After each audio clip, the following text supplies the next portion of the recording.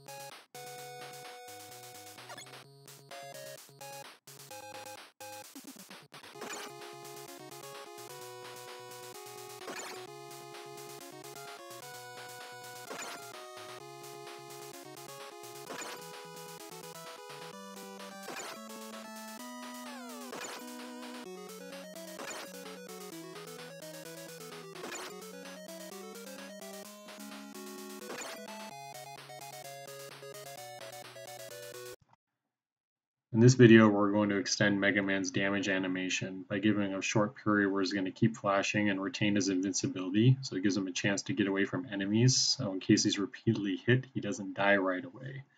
And this is particularly important against enemies like Big Eye.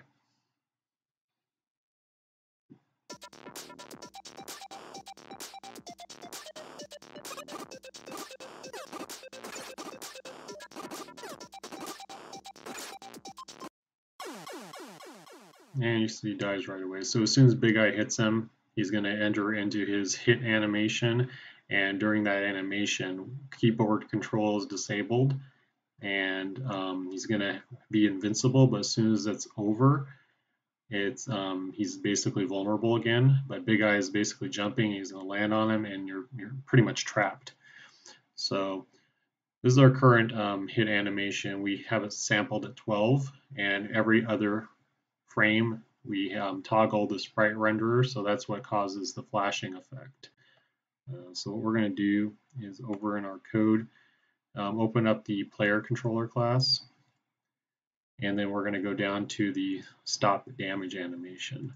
So this function is actually called as an event in our hit animation, and what happens in here is we um, we're not invincible anymore, and we let the we um, re-enable the keyboard input. So what we're going to do to achieve our flash and keep the um, invincibility going um, is we're going to use a coroutine.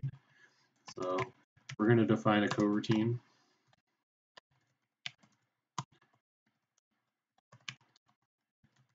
We're going to call it flash after damage.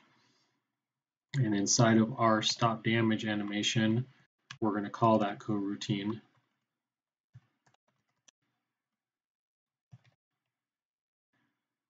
So our invincibility, we don't want it to happen as soon as this function is called. So what we're going to do is we're going to take that out and we're going to drop it in our coroutine.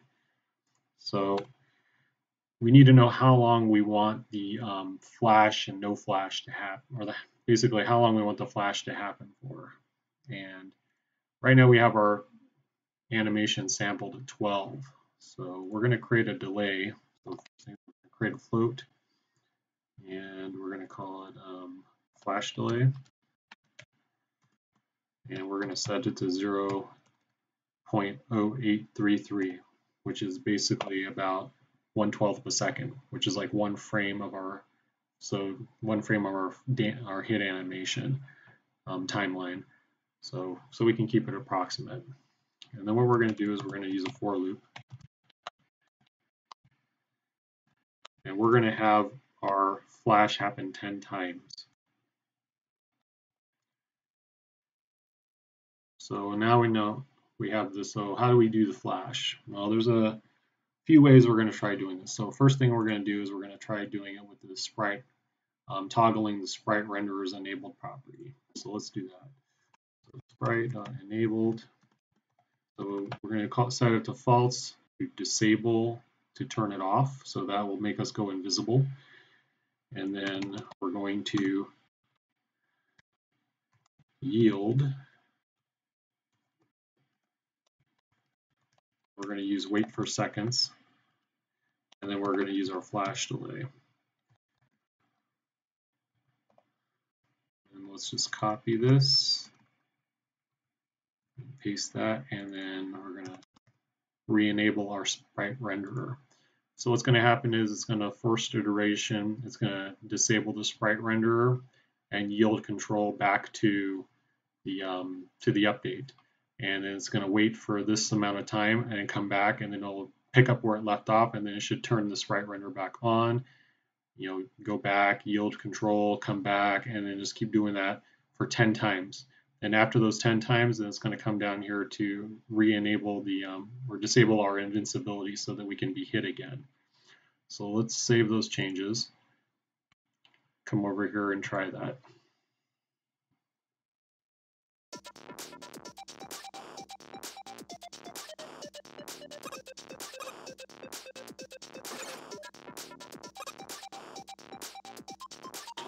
Well, we didn't flash, but we retained our invincibility. Well, part of the reason is, is that um, our animation's continuously playing, which I believe enforces sprite render to always be enabled. So even if we do disable it here, it's just basically ignoring this. So that's not going to work for us. So that's the first fail. What's the next method? So the second method we're going to try is actually toggling the material on the sprite. So let's try that. So material, null, and then down here, we're going to say sprite material is equal to a new material. And then we're going to use a shader. We're going to find our existing shader. So our sprite is using the, uh, let's see, let's build sprites, default shader. And so let's save that and try it. So what this is going to do is it's going to turn the material off, which should make us invisible, and then it's going to reapply the sprite's default material and to give us um, so that our, we're visible again. So let's do that and see what happens.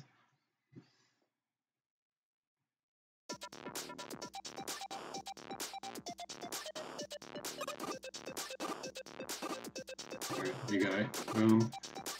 Okay, so I can get, now I have a chance to get away, and we're flashing. Alright, so that worked. So that was the effect that we were looking to achieve. However, we're not going to do this method. Um, I've come across in some of my other projects where this actually doesn't work. Um, I'm not exactly sure why, but my sprite goes purple or magenta, which basically means that there's an error when it's trying to do something with a material. So if this works for you, great, but we're going to do the third option. So we're going to disable that. Third option is modifying the color.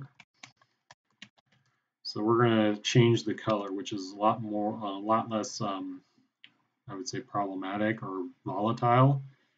So we're going to say new color.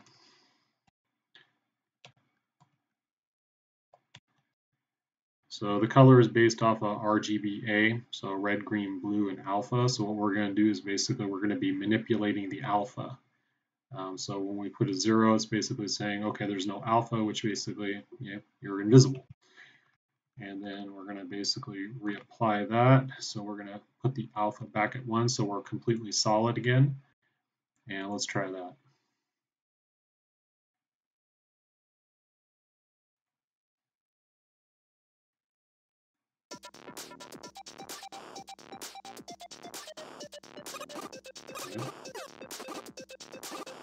All kinds of enemies I didn't get hit, I'm flashing.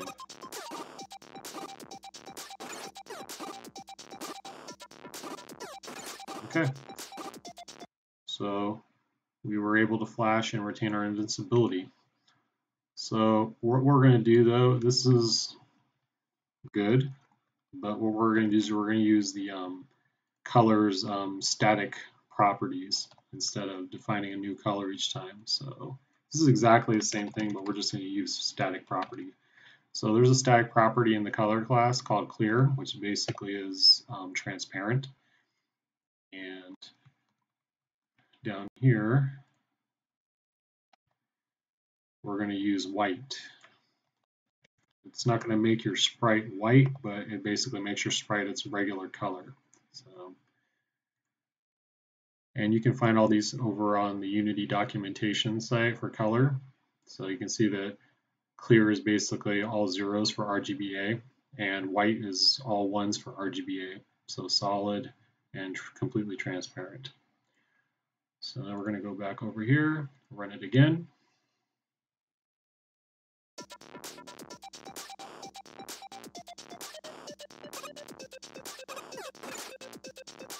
And we're flashing and we're invincible.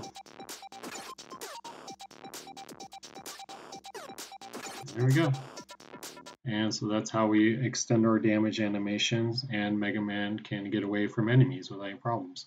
So the code for this is over um, in the description. You can get it off GitHub. If you've um, been following along, you can add this to the existing project from Project 10. Um, otherwise, this is this code basically can be used in any project. It's not dependent on this um, Mega Man game that we're building. Okay, so if you like it, give it a thumbs up, subscribe. Um, have a good day. Thanks. Bye.